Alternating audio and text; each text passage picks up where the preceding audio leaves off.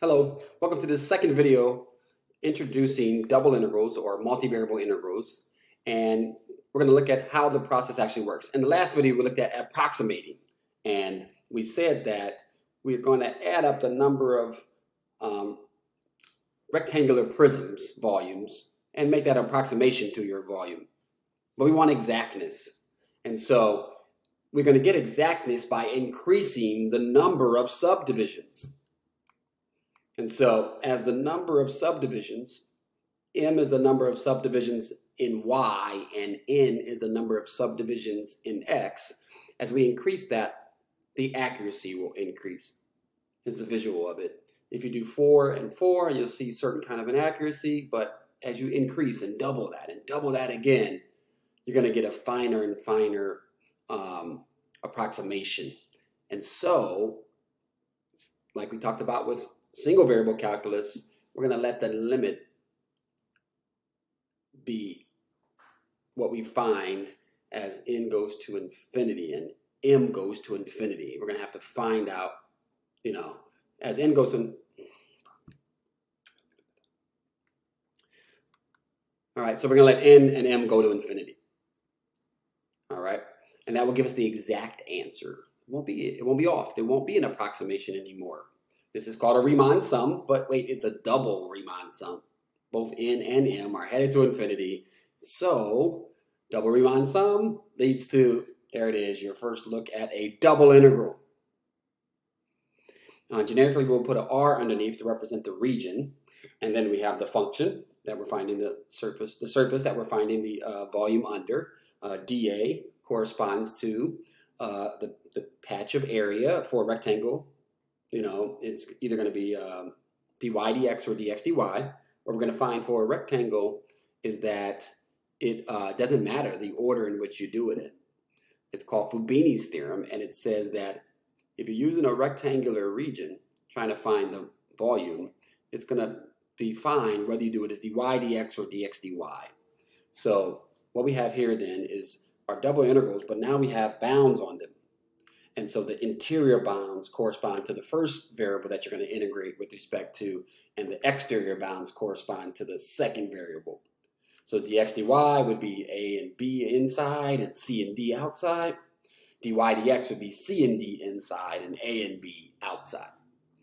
And it turns out they're exactly the same, but coming in the next set of videos, we have to figure out, well, what if the region is not rectangular? What if you just have a general blob region? And that's where things get really difficult. But for now, when you see a rectangular region, region you should you should get excited because that's going to be a simple calculation. It's called an iterated integral. Okay, so there's this work. You're working your way inside out. You're going to start with the inside, and you're going to work your way then to an outside integral. You're going to be integrating with respect to x first. Okay, that's fine. What do you do? Well, what did you do when you're taking the derivative with respect to x? You held the other variable constant. So now, when you're integrating with respect to x, you're going to hold the other variable constant, treating y as a constant. Then when you're done with that, you're going to have a formula that's in terms of y, and that'll be for your outside integration. All the x's should be gone at that point. You can do it the other way around too. You can integrate with respect to y first, holding x constant. And then when you're done with that, you'll have some formula on x, and then for that you would integrate with respect to x and end up with a number. Here's the visual of how you're sweeping out the volume. Just like you used to sweep out the area, now you're sweeping out the volume. So when you, when you integrate with respect to x first, you're slicing parallel to the x-axis, and then this is now moving in y. The direction in which it moves in is the last variable that you're going to be integrating with respect to.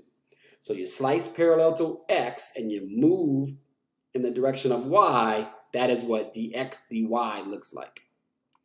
You can slice parallel to y and then move in the direction of x. That is what dy dx looks like as you visually sweep out the volume. Okay. So now we know how to find the double integral value when it's over a rectangular region exactly. Let's go back to the original example that we had where we did the approximation. We got like eight and a half and we're going to see how bad an approximation that was. And so we're going to um, do this double integral. Whether we do a dy dx or dx dy is inconsequential. I have it set up here as dx dy. So you put the function, the surface, you put that inside, the order, and then the bounds have to correspond to those variables. The, ins, the x variable is from 0 to 1, and the y variable is from 0 to 2. Antiderivative with respect to x, because it's the inside. Holding y constant, treating the y like you treat the 8. Uh, the antiderivative of 8 with respect to x, 8x. Antiderivative of negative 2x squared with respect to x, negative 2x cubed over 3. Here's a y, negative y squared, the antiderivative of that with respect to x is going to be that, negative y squared, times an x. It's a definite number. We have to plug in these bounds. They're numerical. They won't be numerical in the next section, but it's okay. They're numerical, and so we get something like uh, 8 minus 2 thirds. But then here's this function on y, minus y squared. That's the formula in y. That's from your slice that you did parallel to the x-axis, and now we're going to integrate with respect to y. You can go ahead and put the 8 and 2 thirds together, of course. Um, putting 0 in gives you 0, you know, but be aware that, you know, the lower limit could give you something too. So 8 minus 2 thirds is uh, 24, 22 thirds. Okay. So then, um, yeah, simple single variable calculus at that point. 22 over 3 y, y cubed over 3. Put a 2 in, put a 0 in. You end up with 44 over 3 minus 8 over 3 the exact answer is um, the uh, 12. It is 36 over 3. Our approximation was 8.5. The exact answer was 12. Okay, so that's your first double integral that you perform. It's over a rectangular region, which makes things easier. Uh, let's see if we can fit another one in. So there's some surface, 1 over x plus 4y quantity cubed, and we're looking at x is between 2 and 3, and y is between 0. Maybe I should have done this as dy dx. That's okay. Um, I should have done the other one as dy dx, so this one can be dx dy. So treat the y like you treat the 4. It's like integrating, you know, x plus 4. Just kind of ignore it for a second. I know it's not, you know, it's there. Don't totally ignore it. But when you're thinking about the antiderivative, think about it not being there. So treat it like the 4. Treat the 4y like it's some other constant. And so um, it being 1 over, you can bring it up with a negative exponent.